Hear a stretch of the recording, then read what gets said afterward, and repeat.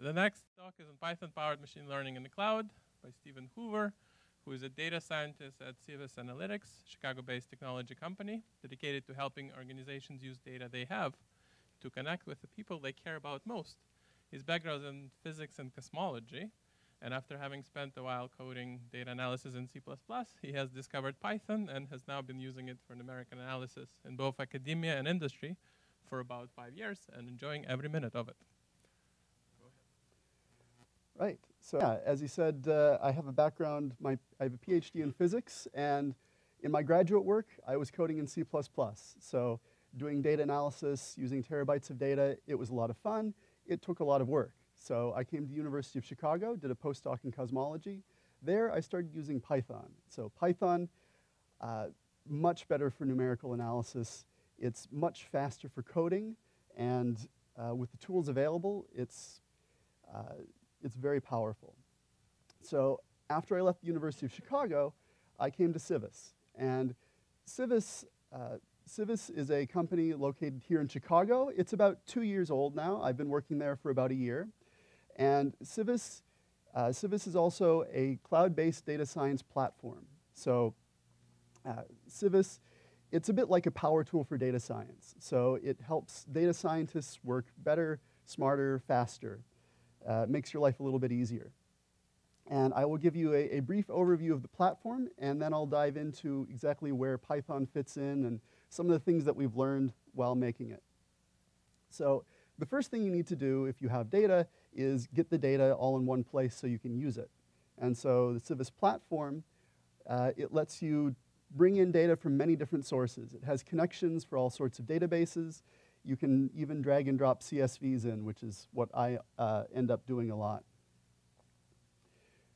So if you have all of these different tables, you'll often want to link records together from tables. So if you have person information, say name, address, phone number, that maybe aren't quite exactly the same in different tables, Civis has smart algorithms that let you join those together and combine those tables. Uh, it has an in-browser SQL, so a lot of our clients are very good at SQL, so this, this tool lets them explore the data, add columns, do some feature creation, uh, early exploration. So this is the part that I'm going to get into more in just a couple minutes, but optimize. So once you have these data in your platform, uh, once you've created some new features, have some idea what's going on, you can then build predictive models using that data. So after you've built your predictive models, then you have to actually make them useful. And so that involves talking to other people. So Civis will create reports for you. It works with Tableau or D3. Uh, you can take the outputs, uh, take the information from these tables uh, or from the outputs of your predictive models, make reports, share them with decision makers or fellow data scientists. And of course, you can automate all this. So if you're getting data coming in continuously, you can keep, your tables will keep refreshing, your models will keep rebuilding, your reports will be continuously updated. Uh, this can happen in the middle of the night. You can wake up refreshed, have breakfast, go to work, and your boss has already seen the report. So, uh, into the interesting stuff. So, predictive modeling. We use several different languages in Civis. Uh, the web stuff is mostly in Ruby on Rails.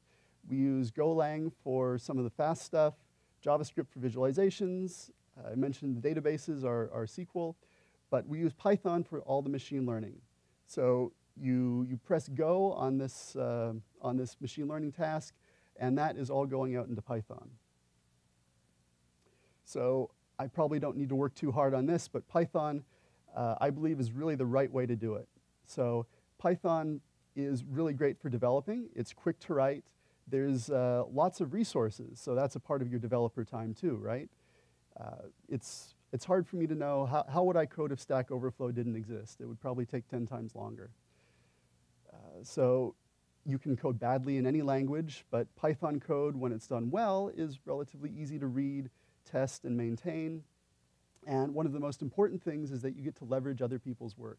Lots of online uh, open source libraries available for you to use. So uh, this is the first choice that I want to talk about. We code in Python 3. So I know uh, there seems to be some debate in the community, Python 2 versus Python 3. if you're starting a new project, I think you really should go with Python 3. So Python 2, for, for some time now, it's just been getting security updates. It's on 2.7. There will never be a 2.8. Uh, some people have been backporting new features from Python 3 to Python 2, but it doesn't have all of them. All the new development is going to Python 3, and Python 2 support ceases completely in 2020. So if you want your code to last, code in Python 3. Uh, lots of fun new language features in Python 3. Uh, if you do have to code in Python 2 for some reason, it's pretty easy to make your code forward, forward compatible. So uh, if you're stuck with Python 2, from future import division print function. And then make sure that you don't use any Python 2 only syntax. So it's not, not too hard. Uh, something that I just want to highlight is this, uh, this is something we ran into recently at Civis. So uh, some multiprocessing libraries have, sorry, some, um, some linear algebra libraries interact poorly with the Python multiprocessing. So we, um, we were running into issues where uh, there's code that works fine in development, but, uh, sorry, in production, but uh, I often develop on OS X. OS X's accelerate library is multi-threaded in such a way that if you, if you call a linear algebra routine on both sides of a fork, it will just crash. That, that's kind of inconvenient. Uh, Python 3 adds a new backend they call fork server that's, uh, that works a lot better with this. So 3.4 only. So another reason to go with Python 3. There are a couple of gotchas. If you're coming from Python 2, uh, a lot of the things that you get from the standard libraries are now iterables. So that's one thing to get used to. Uh, the one real bug-inducing gotcha that I'd point out is that the, the slash sign in Python 2, if you had 2 divided by 4, you would get 0 because you know, integer division, right? In Python 3, every, all division is float division. And so this, this has once or twice caused some really subtle bugs that were, uh, that were a little annoying when I finally found them. Uh, so almost all of the libraries, uh, all of the big libraries are Python 3 compatible. Uh, there's some libraries you'll run into occasionally that, that are not Python 3 compatible, but uh, that's an opportunity for you to contribute to open source code. So still a good thing. Uh, so when you are designing a project, uh, the first thing, of course, is to know what, what uh, your inputs are. What is this doing? So Civis is working largely with tabular data. Uh, so this is what it looks like. You have rows, you have columns. So keep this in mind in the next few slides. We use a lot of different libraries at Civis. I'm just going to highlight three of my personal favorites, three that get used a lot. And uh, Skipper talked a lot about a couple of these in, uh, this morning. But I, I, really have to start here with the unit test library. So last speaker emphasized this. It's been mentioned a couple times already in the conference, but if you haven't tested it, it doesn't work. Uh, I was recently upgrading some of our capabilities. I sat down, I, I, worked on it, I wrote out the code. It was working in all the test cases that I had on, on the command line. And then I said, okay, it's done. I'll just, uh, I'll just finish up with the testing and then push it into production. Uh, the very first test I wrote did not pass. So yeah, testing, testing is very important. Special shout out to Nose here, so uh, especially the, the coverage option. If you are testing code, you can write your unit tests.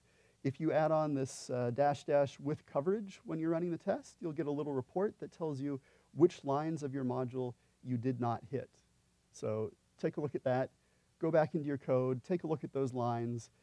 Uh, if they look at all important, write new unit tests that will hit those lines. So I, I have personally found that very useful. So back into the libraries. NumPy, I sometimes forget that NumPy is not part of the standard library. It's just so essential for numeric work.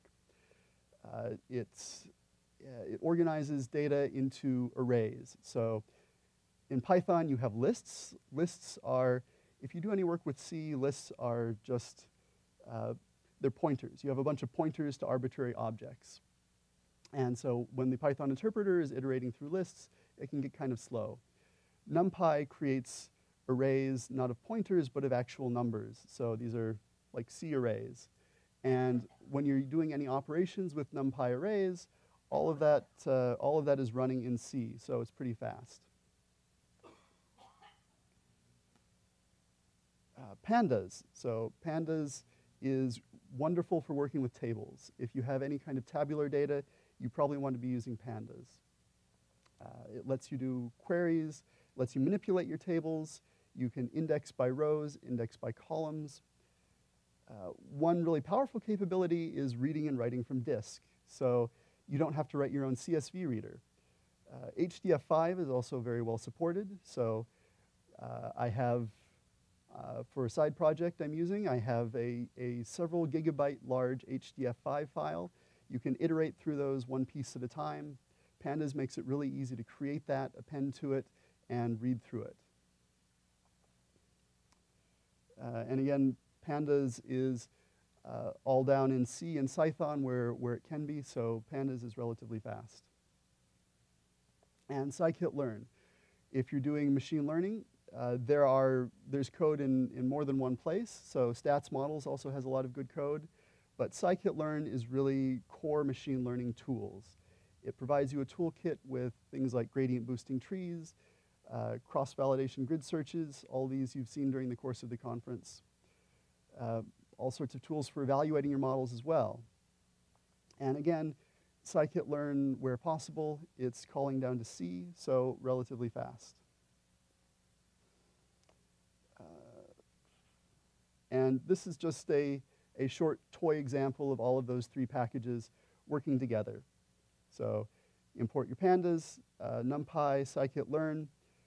Use pandas to read in the data, you can then use scikit-learn to do a quick fit on those, on those data.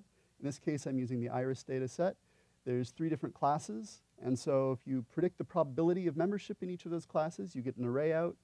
I, I could have called also predict, and it would just tell me predict class membership, but what if I've already, I want separately the probabilities, so I have this array sitting around. You can use NumPy to uh, quickly grab the, the predicted class for each of those, find which of those probabilities is the greatest. Right, so a couple of the other lessons that we've learned in the course of making these libraries. So reusable code. What is reusable code? So uh, reusable code is a library. It's something that you're going to be calling again and again from different contexts.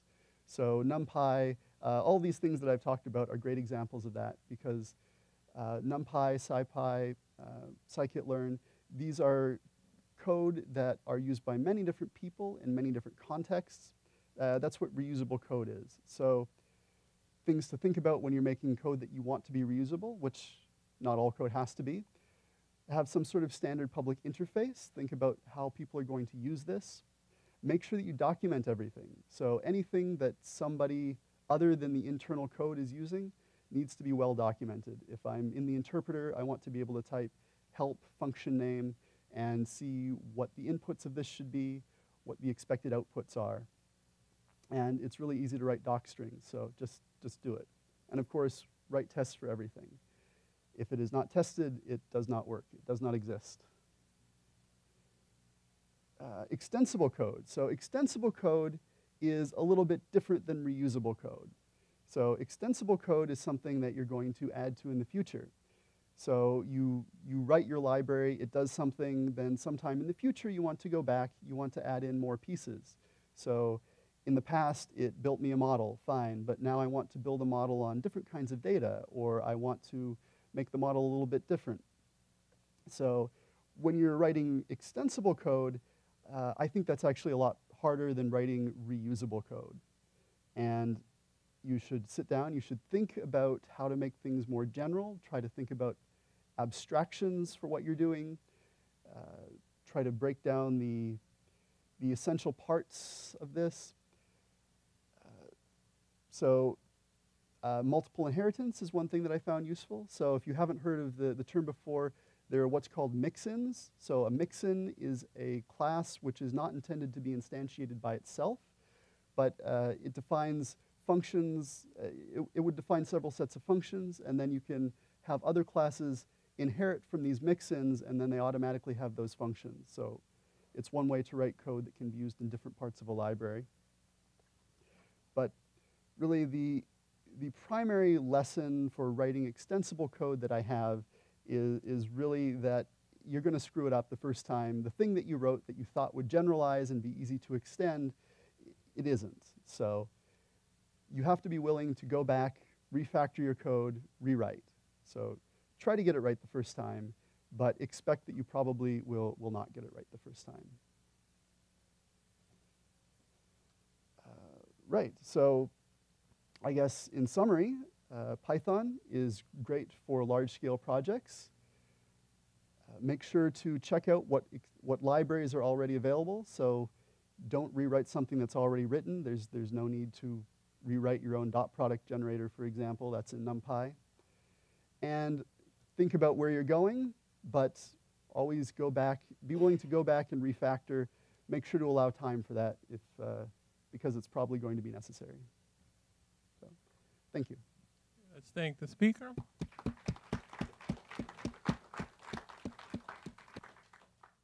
Any questions? You mentioned that you're using Python 3. Yes. In terms of being able to talk, you mentioned one feature that, uh, or at least you mentioned async IO. Um, are you actually using async IO? Um, if so, how and what's your experience with it then? And have you used Twisted before for other stuff? Uh, I don't believe we're using async IO at all right now.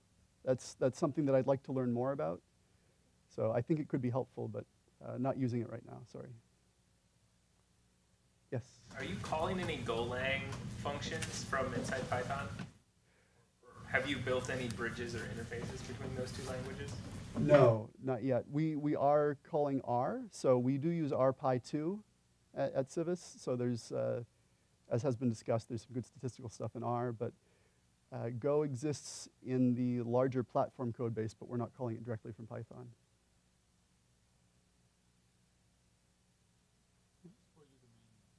Of Python uh, over R?